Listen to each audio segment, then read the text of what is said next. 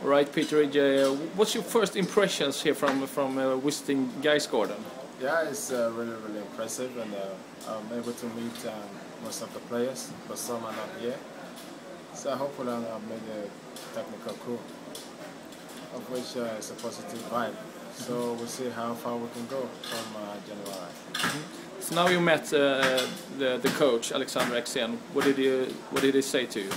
Yeah, he's excited. So and um, yeah, it's all about you know uh, what uh, we can we can do together to make the team better. So that's my mission.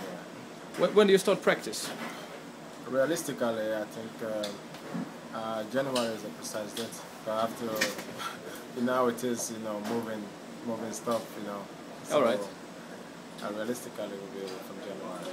So you won't play uh, with the uh, train with the, the guys before Christmas?